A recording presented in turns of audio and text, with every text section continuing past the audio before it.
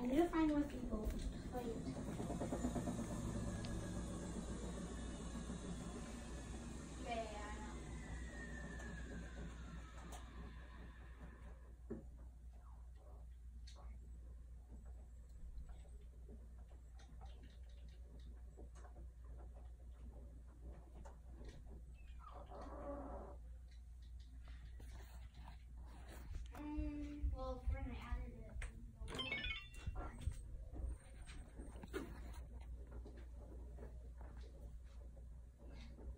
need shotgun ammo.